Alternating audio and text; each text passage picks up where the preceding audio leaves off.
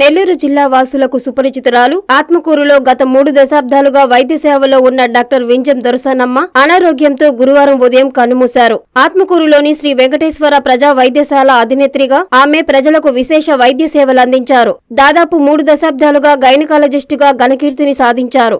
Doctor దర్శనమ్మ మృతి ప్రజలకు తీరని లోటని పలువురు ఆవేదన చెందారు. ఆత్మకూరు పుర ప్రముఖులు ఆమె మృతదేహాన్ని సందర్శించి ఘన నివాళులర్పించారు. డాక్టర్ వెంకటేశ్వర్లను వారి కుటుంబ సభ్యులను పరామర్శించి ధైర్యం చెప్పారు.